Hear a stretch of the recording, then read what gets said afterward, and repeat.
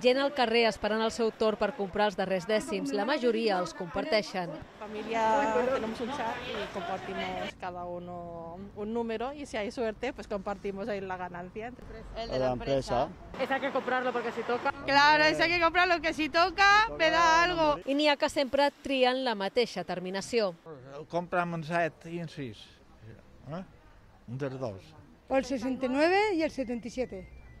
Y el del niño es 05 y el 47. Encara queden dies per comprar loteria. El sorteig és dimecres, però hi ha administracions que demà també obriran.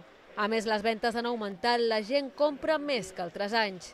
Está un poquito más animado que el año pasado, pero aún así no es como al principio del COVID. La veritat és que és un any excepcional i que tothom està animadíssim. Hi ha moltíssima d'il·lusió, moltíssimes de ganes de treure i, i sí que en general les ventes han augmentat respecte ja no 2020, sinó 2019. Tot i l'ambient festiu, enguany el sorteig de la loteria de Nadal està marcat per la vaga convocada pels dies 22, 23 i 24 de desembre.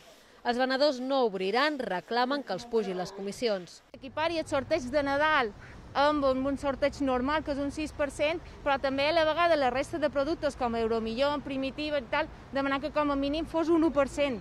Però si han venut qualque dècim guanyador, obriran i ho celebraran amb la clientela.